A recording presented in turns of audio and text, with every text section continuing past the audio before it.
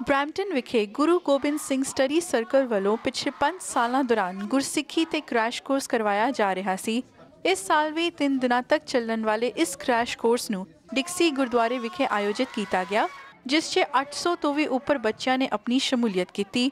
ਇਹ ਕੋਰਸ ਰੋਜ਼ਮਰਾ ਦੇ ਜੀਵਨ ਤੋਂ ਥੋੜਾ ਵੱਖਰਾ ਸੀ, ਜਿਸ 'ਚ ਬੱਚਿਆਂ ਦੇ ਇੰਟਰਸਟ ਅਤੇ ਲੇਟੈਸਟ ਟੈਕਨੋਲੋਜੀ ਨੂੰ ਖਾਸ ਤੌਰ ਤੇ ਧਿਆਨ 'ਚ ਰੱਖਿਆ ਗਿਆ ਸੀ।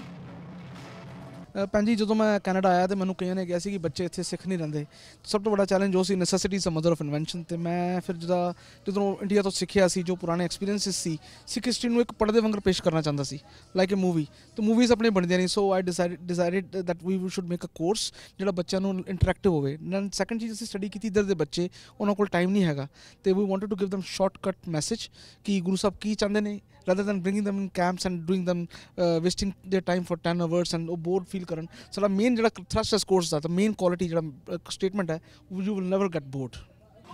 ਆਮ ਤੌਰ ਤੇ ਬੱਚਿਆਂ ਨੂੰ ਸਕੂਲਸ ਅਤੇ ਸਟੱਡੀ ਸੈਂਟਰਸ 'ਚ ਆਪਣੇ ਧਰਮ ਅਤੇ ਸੱਭਿਆਚਾਰ ਬਾਰੇ ਜ਼ਿਆਦਾ ਜਾਣਕਾਰੀ ਨਹੀਂ ਮਿਲਦੀ ਇਸ ਲਈ ਉਹਨਾਂ ਲਈ ਕੁਝ ਅਜਿਹੇ ਪ੍ਰੋਗਰਾਮਸ 'ਚ ਸ਼ਾਮਿਲ ਹੋਣਾ ਜ਼ਰੂਰੀ ਹੁੰਦਾ ਹੈ ਜਿਸ 'ਚ ਉਹ ਆਪਣੇ ਧਰਮ ਬਾਰੇ ਜਾਣਕਾਰੀ ਹਾਸਲ ਕਰ ਸਕਣ ਇਸ ਕੋਰਸ ਰਾਹੀਂ ਜਾਣਕਾਰੀ ਹਾਸਲ ਕਰ ਚੁੱਕੇ ਕੁਝ ਵਿਦਿਆਰਥੀ ਹੁਣ ਬਾਕੀਆਂ ਨਾਲ ਇਹ ਗਿਆਨ ਸਾਂਝਾ ਕਰ ਰਹੇ ਹਨ So I got so much knowledge, even though I couldn't capture the hundred percent, obviously, because our minds are, you know, they can only capture a certain amount.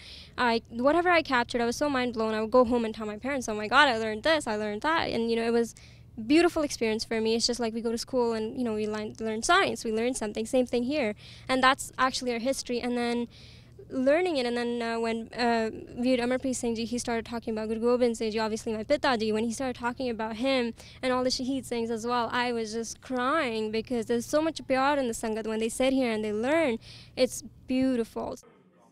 Programme ਦੇ ਅਧਿਕਾਰੀਆਂ ਅਨੁਸਾਰ ਗੁਰੂ ਗੋਬਿੰਦ ਸਿੰਘ ਸਟੱਡੀ ਸਰਕਲ ਇੱਕ ਸਮਾਜ ਸੇਵੀ ਸੰਸਥਾ ਹੈ ਅਤੇ ਇਹ ਨਾ ਹੀ ਪ੍ਰਾਈਵੇਟ ਹੈ ਅਤੇ ਨਾ ਹੀ ਸਰਕਾਰ ਵੱਲੋਂ ਫੰਡਡ ਇਸ ਸੰਸਥਾ ਦਾ ਕੰਮ ਵੋਲੰਟੀਅਰਸ ਤੋਂ ਚੱਲਦਾ ਹੈ ਅਤੇ ਗੁਰਦੁਆਰਿਆਂ ਦੀ ਸੇਵਾ ਨਾਲ ਹੀ ਉਹ ਕੈਨੇਡਾ ਦੇ ਵੱਖ-ਵੱਖ ਹਿੱਸਿਆਂ 'ਚ ਇਸ ਨੂੰ ਆਯੋਜਿਤ ਕਰਦੇ ਹਨ So we go to the parents and give them the flyer and tell them this is what's going on.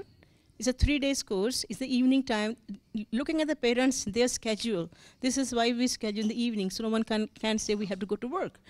ਸੋ ਅਸੀਂ ਉਹਨਾਂ ਨੇ ਇਹ ਵੀ ਕਹਿੰਦੇ ਆ ਤੁਸੀਂ ਇੱਕ ਦਿਨ ਆਓ ਫਰਾਈਡੇ ਆਓ ਨਹੀਂ ਪਸੰਦ ਨਾ ਆਓ ਤੇ ਉਹ ਪਹਿਲਾਂ ਪੁੱਛਦੇ ਇਹਦੇ ਪੈਸੇ ਕਿੰਨੇ ਸੀ ਕਹਿੰਦੇ ਕੋਈ ਪੈਸੇ ਨਹੀਂ ਉਹ ਹੈਰਾਨ ਹੋ ਜਾਂਦੇ ਆ ਵੀ ਇਹ ਕਰਦੇ ਕਿਦਾਂ ਨੇ, ਵੀ ਪੈਸਾ ਕੋਈ ਨਹੀਂ ਹੈਗਾ। ਤੇ ਇਦਾਂ ਅਸੀਂ ਬੱਚਿਆਂ ਨੂੰ ਮੋਟੀਵੇਟ ਕਰਦੇ ਆ। ਜ਼ਿਕਰਯੋਗ ਹੈ ਕਿ ਇਸ ਕੋਰਸ ਦੀ ਕੋਈ ਫੀਸ ਨਹੀਂ ਹੈ ਅਤੇ ਗੁਰਸਿੱਖੀ ਦਾ ਇਹ ਕੋਰਸ ਸਾਲ 'ਚ ਕਈ ਵਾਰੀ ਆਯੋਜਿਤ ਕੀਤਾ ਜਾਂਦਾ ਹੈ। ਸਿੱਖ ਕੌਣ ਹੈ? ਸਿੱਖੀ ਕੀ ਹੈ? ਅਤੇ ਸਿੱਖੀਜ਼ਮ ਦਾ ਸਾਡੇ ਉੱਤੇ ਕੀ ਪ੍ਰਭਾਵ ਹੈ?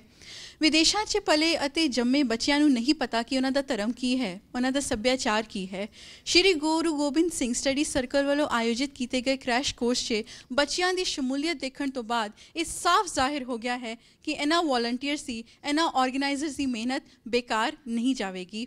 ਕੈਮਰਾਮੈਨ ਸੁਰਿੰਦਰ ਨਾਲ ਹਰਨੀਹਾ ਗੁਲਾਟੀ ਪੀਟੀਸੀ ਨਿਊਜ਼, ਟੋਰਾਂਟੋ।